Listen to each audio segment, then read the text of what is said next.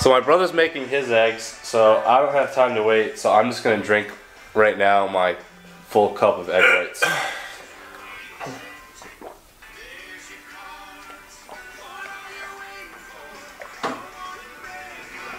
So guys, my breakfast is obviously that egg whites that I just chugged down, a banana, 100 grams of strawberries, two whole eggs with onion and mushroom, and two multi-grain, well, one multi-grain um, English muffin, and then a full bottle of water.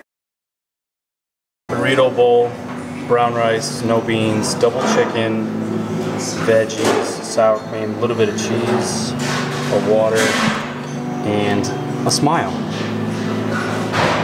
My bowl, if you want, if you guys, if you guys want to know, you know, this is what I eat when I cut. Uh, I cut all year round because I'm only like 150 pounds all year round, so like constant cut, you know. So in here I just have, as you can see, um, gains, gains, gains. Basically the whole bowl is just gains.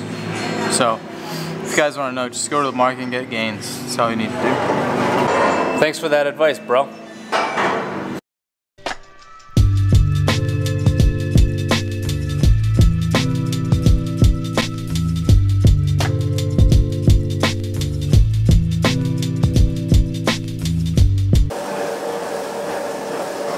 I hate cardio so much, but we're gonna go get in a post cardio meal in, and I'll show you what that is obviously, because this is a full day of eating on a cut.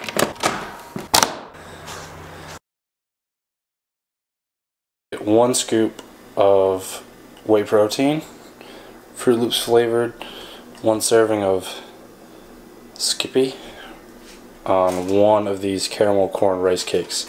This combo, guys, is unreal.